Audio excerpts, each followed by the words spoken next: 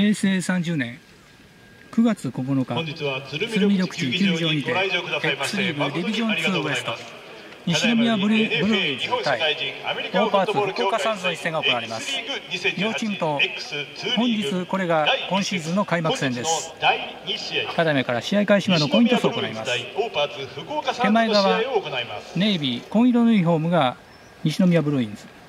奥側ホワイトのユニフォームがオーパーツ福岡ただいまグラ中央では両チームのキャプテンバイスキャプテン審判団によりまして試合前のセレモニーコイントスが行われています。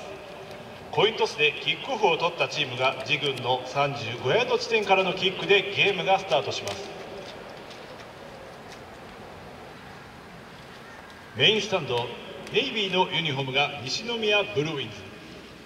バックスタンドホワイトのユニフォームがオーパーツ福岡サンズです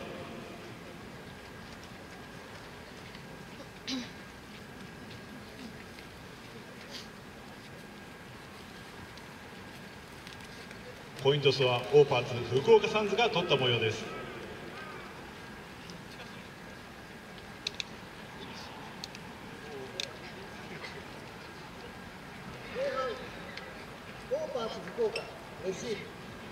西宮ブルーインズキック。オフオーパーツ福岡サンズリターンで試合が始まります。ネイビーのユニフォーム西宮ブルーインズのキックオフで試合が開始されますなお本日1クォーター12分1クォーター12分の正式掲示で行います。